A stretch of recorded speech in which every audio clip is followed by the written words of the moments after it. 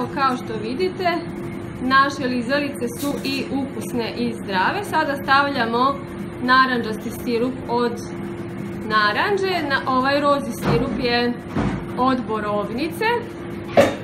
Tema današnjeg časa nam je naša mašta može svašta i pravimo ukusne i zdrave lizalice od sirupa od borovnice i od naranđe. Bravo!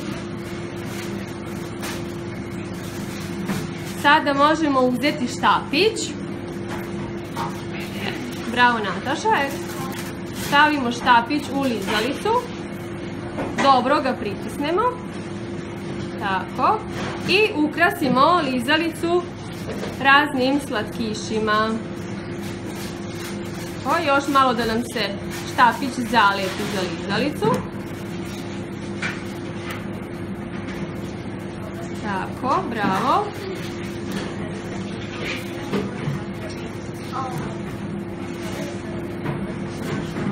O, bravo Erik, sada možeš uzeti ukrase i ukrasiti tvoju lizalicu kako želiš.